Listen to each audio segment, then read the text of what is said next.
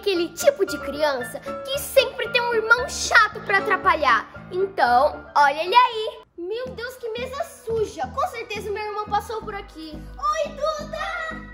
Oi! Ai, amiga! Você tá fazendo slime na mesa? Sim, é porque eu tô brincando de ativar na Posso mesa. fazer com você? Claro que pode, né, amiga? Eu acho que eu vou ir com a cola clear. Só desculpa a mesa bagunçada, Não, tá? é.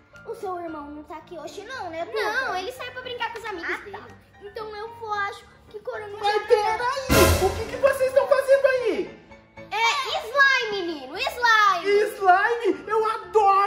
Slime! Eu também posso brincar com vocês? Não! Agora é um momento só meu e da Clara, porque a gente tá fazendo slime. É. Isso aqui é brincadeira de menina. A gente quer... Não é! Olha só, menino e menina podem brincar juntinho, não tem problema. Mas se a gente aqui. se a gente não quiser brincar com você, a gente não precisa. E outra, a gente chegou aqui primeiro, Nino. Ah, é? Vocês não vão brincar comigo? Não! Porque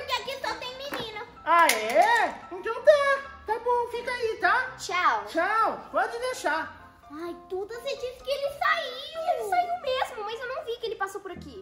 Eu vou colocar caquinha de cachorro nas slime delas. A Duda, minha irmã e a amiguinha dela não deixam eu brincar. Hum, O Nino fica muito irritado quando não brinca. Mas a caquinha, olha só, a caquinha.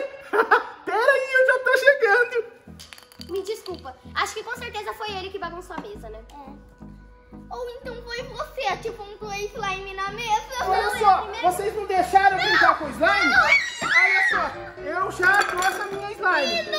Olha a minha slime aqui, ó. Olha a minha slime. Nino! Que cheiro é esse? Qual